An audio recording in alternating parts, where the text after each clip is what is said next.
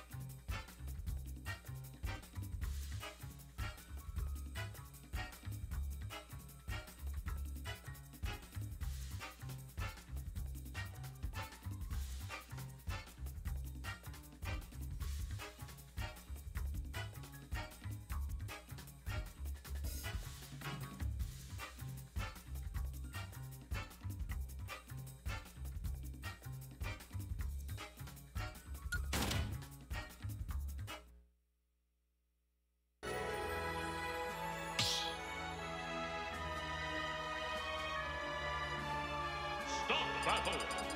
Lord Samus,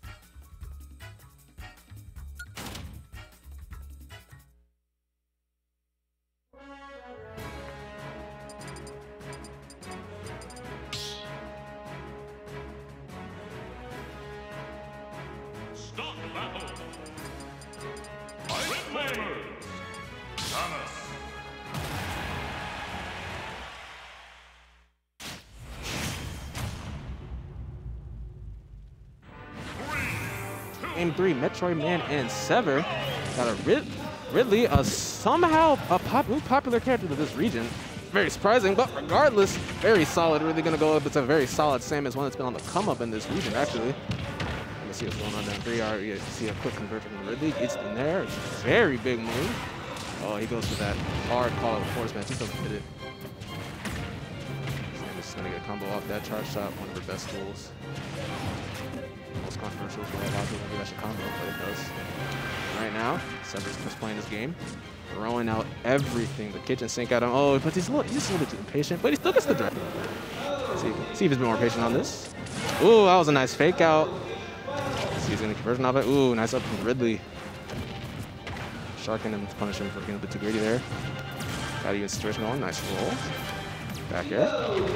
That back is gonna take it. Very nice stuff from Metroid Man there. Taking the first stock of this pivotal game three. It's definitely not over yet for him though. See if he can get in versus a, project, a heavy projectile-based character like Samus. Another use of that up B. Ooh, dash attack trades with the down tilt? That's interesting. See how's Metroid Man gonna recover. Sever just taking his time, and that's that's why you that's why you're patient on the ledge, everybody. The- projectiles sometimes they'll just play the game for you. He's gonna take that and even game once more. Gonna get that combo off that charge shot again. Gonna get a conversion off that. Gonna get his air. Good dash attack. Nice call out. Cover jump in. Very good move, honestly. Nice back up from the Ridley though. And I'm and I'm quite surprised. Uh, these players. I'm quite surprised. Um, both these players kind of just let the. Uh, I believe who lost game two. I think. So I'm kind of surprised that Sever left this stage open as Metroid Man once again gets the lead on that stock. But yeah, like how Ridley can very easily shark Samus on these platforms with trying to set up any kind of ledge trap situation. So I'm very surprised that Sever left this stage open. Maybe he just forgot about it, but regardless, he's trying to get his best to take out this stock right now. Ridley is definitely not a character that you want to let live long. With Rage, this character can be quite dangerous. 170%, just can't close the deal. Gonna see this patient let's play again. I'm loving these fake out charge shots by Sever here. He's just taking his time, being very patient. That charge shot's gonna whiff though. Ooh, back air is not gonna be, not gonna be able to, you're not gonna win any kind of trades if you're gonna do Samus grab versus anything. That is a very slow move. But that back air is gonna take it. Just, Metroid Man just misses on that sliding up tilt. But once again, we got an evenish game here. Let's see what Sever can do. Oh, it's gonna eat a charge shot. 29%. 40%. Ah, that, that'll make a game even. Ooh, Metroid Man tries to dash attack, but just doesn't have enough. So, didn't have enough frames for that one. Oh, but, oh no, but he's, I think he saved him. I'm not sure if uh, Samus would have mana hands, but that back air, ooh, caught him extremely lacking out there. That's a very potent move. That's going to take it. Good stuff for both players. But Metroid Man's going to be moving on to top 64 winners. Congratulations to him. I didn't get to see much of that set, honestly. I just got done playing, but you know. regardless. How you guys doing, everybody? Uh, for those of you who haven't muted me yet, first of all, thank you so much. Uh, much to really talk about. Besides the fact that it's like really, really hot.